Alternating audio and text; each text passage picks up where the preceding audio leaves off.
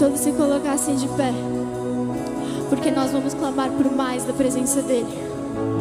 E eu queria dizer para você: se você tem fome, se você tem sede, não de comida ou de bebida, mas se você tem fome e se você tem sede da presença dEle, nós vamos clamar nesse momento. E se você sente um vazio na sua alma, essa fome que não sacia, nada preenche, Ele pão da vida, e Ele é a água, a fonte de água viva, e Ele está aqui para saciar a nossa fome, a nossa sede e todo esse vazio que você pode estar sentindo nesse momento. Nós vamos pedir. Vamos. Tu és o